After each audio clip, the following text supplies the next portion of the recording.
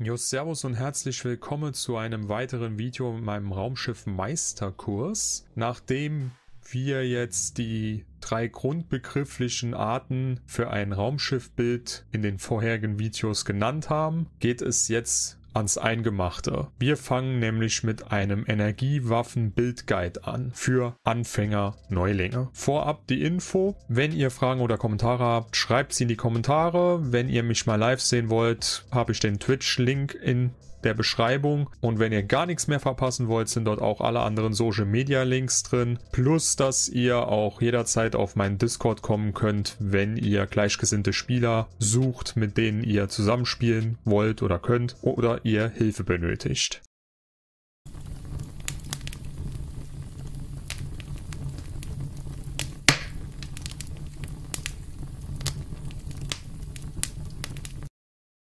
Energiewaffen-Builds sind die häufigsten Bildtypen im Spiel. Energiebuilds sind sehr vielseitig und passen zu vielen verschiedenen Schiffen, von schnellen Escortschiffen bis zu großen Dreadnoughts. Energiebuilds schließen auch Tankbuilds ein und, und können optional auch einen Torpedo enthalten. Deine Wahl bei Karriere und Rasse ist nicht so wichtig. Es gibt zwar ein paar kleine Unterschiede, wenn du versuchst alles perfekt zu optimieren, aber wenn du nicht unbedingt der Beste auf der DPS-Rangliste sein willst, dann kannst du jede Art von Captain wählen, zu jeder Fraktion gehören und mit jedem Schiff und Bild im Spiel erfolgreich sein. Es gibt viele Dinge, die man beachten muss, um herauszufinden, ob ein Schiff gut für Energiewaffen ist. Hier ist ein einfaches Beispiel dazu. Mehr Waffen sind besser, ein Schiff mit 8 Waffen ist besser als eines mit 7 Waffen plus einer Experimentalwaffe. Ein Schiff mit 7 Waffen ist besser als eines mit 6 Waffen plus einer Experimentalwaffe. Und ein Schiff mit 6 Waffen ist immer noch gut. Wenn du Strahlenwaffen oder Kanonen benutzt, sind mehr Waffen vorne am Schiff besser. Eine Schiffssektion mit 5 Waffen ist am besten. Dann kommt eine mit 4,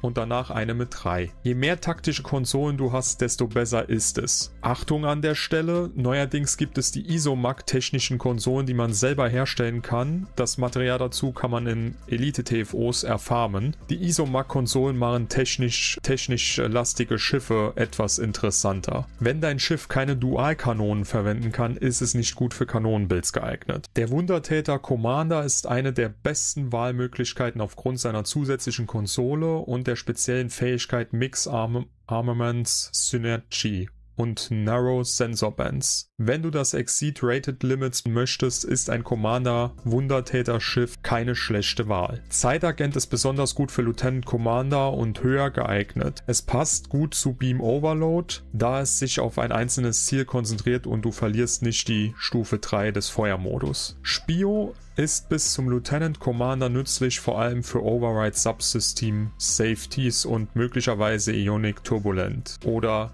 Intel Team. Wenn du Surgical Strikes, Präzisionsschläge auf Deutsch einsetzen möchtest, benötigst du ein Commander Spionageschiff. Pilot ist bis zum Commander sinnvoll, insbesondere für Fly Hair Apart und möglicherweise Form Up oder Pilot Team. Wenn du Reroute Reserve to Weapons verwenden möchtest, ist ein Commander-Pilotschiff erforderlich. Die Führungsspezialisierung wird besonders ab dem Rang Fähnrich interessant. Emitter überlasten ist eine nützliche Fähigkeit auf und Feuer konzentrieren 3, aber du musst einen Torpedo verwenden, um den Nutzen daraus zu ziehen. Auf Commander-Ebene kannst du Artillerie 3 einsetzen, aber diese Fähigkeit erfordert eine Graviquelle oder eine andere starke Anziehungskraft, um sie effektiv nutzen zu können. Allerdings funktioniert sie auch bei stationären Gegnern. Führung ist auch sehr gut für Tankbuilds geeignet. Meine persönliche Empfehlung dafür, Commander Wundertäter oder Commander Spionage sind sehr zu empfehlen. An zweiter Stelle Commander Temporal, Commander Pilot und Lieutenant Commander Spionage sind eigentlich gleich gut. Auf Platz 3 Lieutenant Commander Wundertäter und Commander Führung sind ebenfalls gleich gut. Und auf dem vierten und letzten Platz Lieutenant Commander Pilot, der ist halt am schlechtesten von allen. Wenn es um die Anzahl der Konsolen auf den Schiffen geht, dann empfehle ich Schiffe mit 12 Konsolen, also K6 Flottenvariante. Die sind am besten. Dann kommen die K6 Schiffe aus dem Zen Store mit 11 Konsolen und alle anderen ab K5 und abwärts haben halt weniger Konsolen, sind damit etwas schlechter. Ausnahme sind davon natürlich die legendären Zen-Schiffe bzw. die Event-Schiffe. Das sind jedoch nicht die einzigen Faktoren, die bei der Bewertung eines Schiffs wichtig sind. Wir müssen auch die grundlegenden Fähigkeiten der Brückenoffiziere in Betracht ziehen. Anstatt alle möglichen Kombinationen von Brückenoffiziersfähigkeiten zu durchforsten, sollten wir uns auf das Wichtigste konzentrieren. Die Waffen wählen ist das Allerwichtigste. Entscheide dich für, eine, für einen Energiewaffen-Feuermodus, zum Beispiel Feuerfrei, Strahlenbanküberladung, Kanone Streusalve oder Kanone Schnellfeuer in der höchsten Stufe. Manchmal gibt es spezielle Situationen, in denen mehrere Feuermodi verwendet werden, aber normalerweise sollte nur einer zur gleichen Zeit aktiv sein. Baue die stärkste mögliche Notenergie zu Waffenfähigkeit ein. Das ist besonders wichtig für Energiebuilds, da sie den Schaden erhöhen. Platziere Angriffsmuster Beta auf der höchstmöglichen Stufe, nachdem du den Feuermodus ausgewählt hast. Dieses Muster schwächt den Widerstand der Gegner, je mehr Spieler es verwenden, desto besser. Kommen wir zur Cooldown Reduction. Die Fähigkeiten eines Brückenoffiziers haben eine Grundabklingzeit, die normalerweise länger ist als die minimale, auch globale Abklingzeit genannt. Du kannst diese verbessern. Wenn du einen Lieutenant Commander Wissenschaftler hast, nutze Photonischer Offizier 2. Wenn du zwei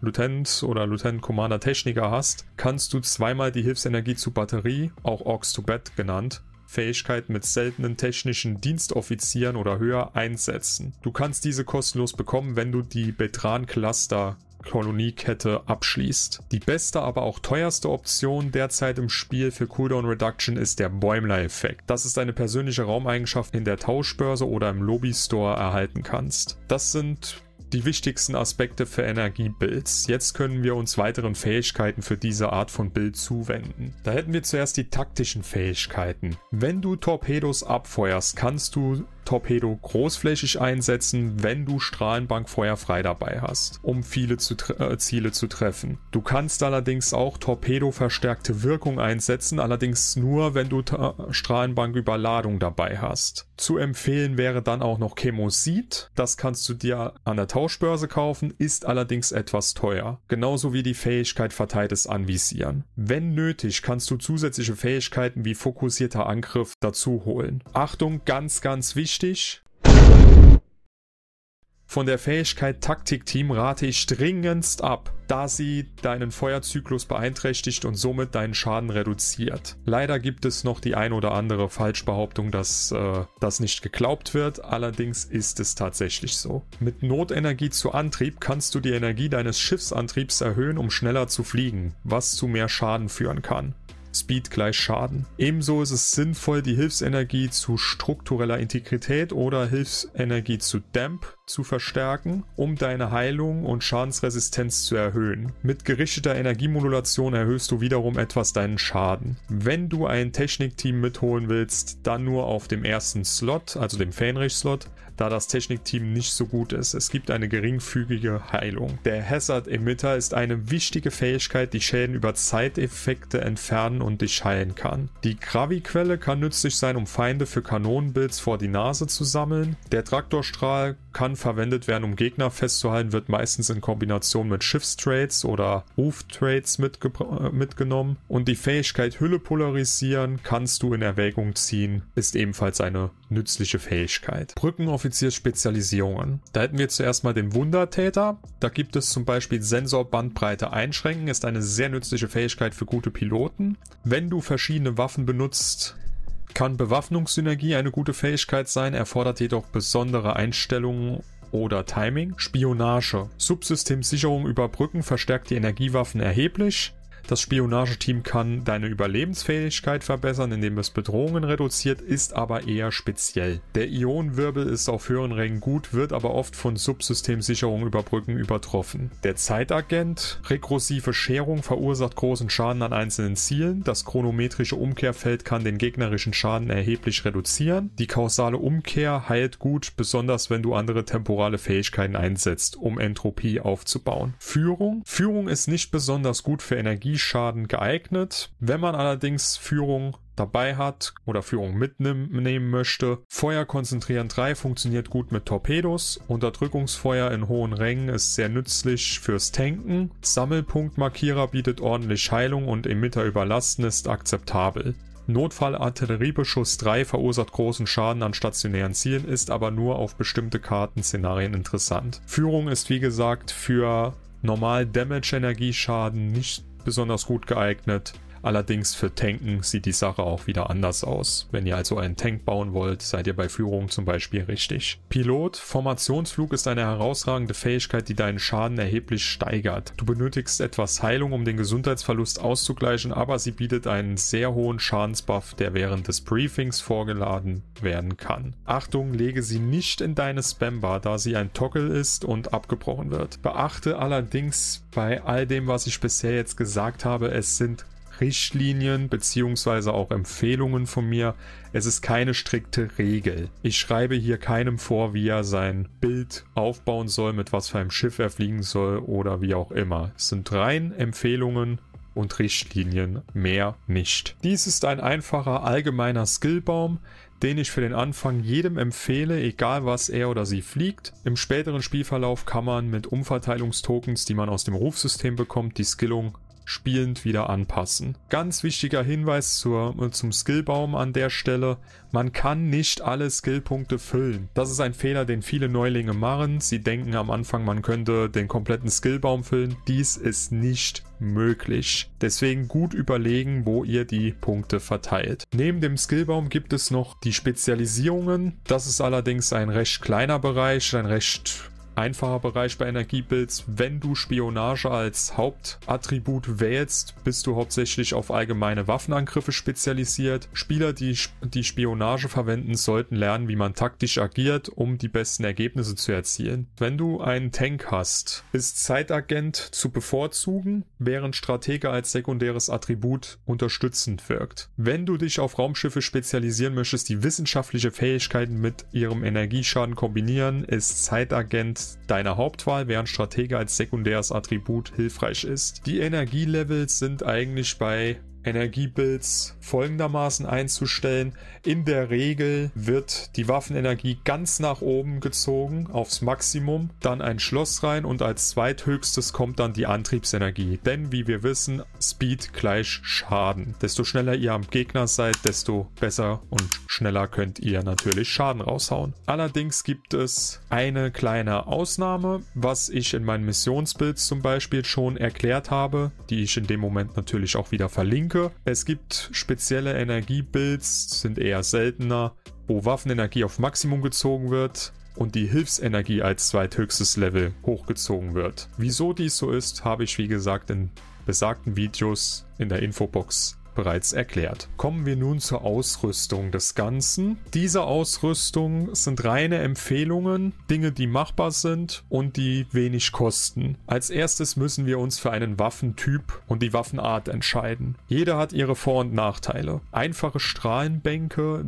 verursachen nicht viel Schaden, können aber in einem weiten, äh, weiten Bereich von 270 Grad feuern. Dualstrahlen richten mehr Schaden an, können jedoch nur in einem kleineren Bereich von 90 Grad vor dem Schiff abfeuern. Du solltest dein Schiff auf das Ziel ausrichten, um sie effektiv zu nutzen. Rundstrahlende Waffen opfern etwas Schaden, können aber in alle Richtungen feuern, also 360 Grad. Dualkanonen und, und schwere Dualkanonen feuern mehrere Energieimpulse auf Ziele ab, haben aber einen begrenzten Feuerbereich von 45 Grad und sind nur für die vorderen Waffenplätze einiger Schiffe geeignet. Schwere Dualkanonen verursachen mehr Schaden als die einfachen, verbrauchen aber schneller Energie. Du solltest dein Schiff auf das Zielen ausrichten, wenn du diese Waffen benutzt. Geschütztürme feuern Energieimpulse in einem 63 Grad Winkel ab haben aber einen geringeren Grundschaden im Vergleich zu anderen Waffen. Sie werden normalerweise auf den hinteren Waffenplätzen platziert. Es ist eine gute Idee, sich für einen Hauptwaffentyp zu entscheiden, entweder Strahlen oder Kanonen. Nicht beides mischen und dann deine Ausrüstung entsprechend anzupassen. Es gibt jedoch Ausnahmen, bei denen es sinnvoll sein kann, verschiedene Waffentypen zu kombinieren. Die Wahl eines einzelnen Torpedos hängt von den Eigenschaften und Setboni des Torpedos ab. Denke daran, dass Torpedos oft als immersive Waffen angesehen werden werden. Wenn du also die Atmosphäre genießen möchtest, wähle einen passenden Torpedo aus. Schließlich ist es ratsam, sich auf einen einzigen Energietyp für deine Waffen zu beschränken, zum Beispiel alle Disruptoren oder alle Waffen auf Phaser. Das maximiert die Vorteile von Konsolen und Setboni, da sie in der Regel besser funktionieren, wenn du sie auf denselben Typ stapelst.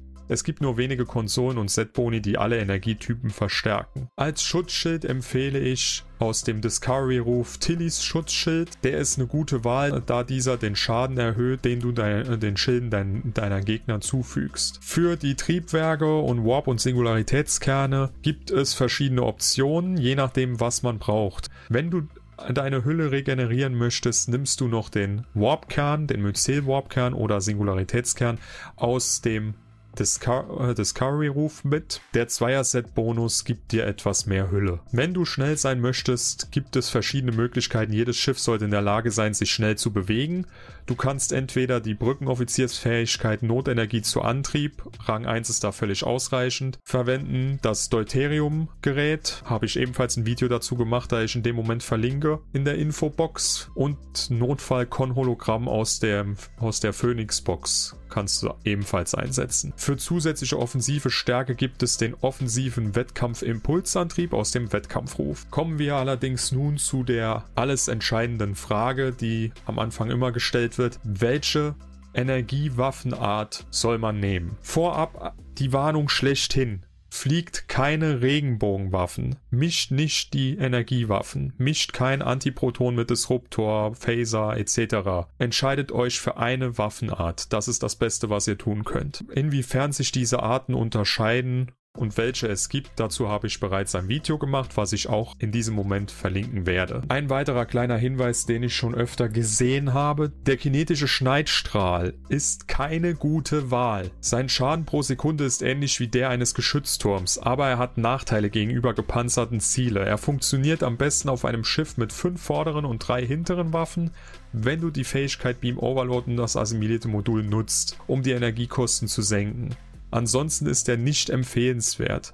Wenn dein Schiff die Fähigkeit Mixed Armament Synergy hat, solltest du stattdessen einen Geschützturm verwenden, auch in einem Beam Overload Bild. Fazit vom kinetischen Schneidstrahler, am besten die Finger lassen. Solltest du keinen Universal-Konsolen-Slot haben, reserviere dir auf jeden Fall einen taktischen Konsolen-Slot für die Lorca-Konsole aus dem Discovery-Ruf. Die wird auf jeden Fall mitgenommen. Die restlichen Konsolen sollten entweder Schwachstellen-Lokalisierer für die Crit-Chance sein oder Schwachstellen Schwachstellenausbeuter für den Crit Schaden natürlich immer auf euer Energie, auf eure Energiewaffen angepasst. Findet man im Flottenspire, habe ich ebenfalls ein Video bereits drüber gemacht, welches ich in diesem Moment in der Infobox ebenfalls verlinke. Solltet ihr etwas tanky unterwegs sein, empfiehlt es sich, die, aus der Flottenkolonie die Protomaterie-Konsolen zu holen. Ebenfalls Flottenkolonie-Video in der Infobox. Wenn du ein Plasma-Setup fliegst oder auf die Baul Antiproton zurückgreifst, empfehle ich an der Stelle ebenfalls noch die Fekiri-Konsole aus der Mission Leap of Faith. Ist eine gute kostenlose Option. Und dann gibt es natürlich noch andere Konsolen, die man mitnehmen sollte. Ist natürlich immer nach der der Geschmacksrichtung, was für Waffen man fliegt, abhängig, beziehungsweise auch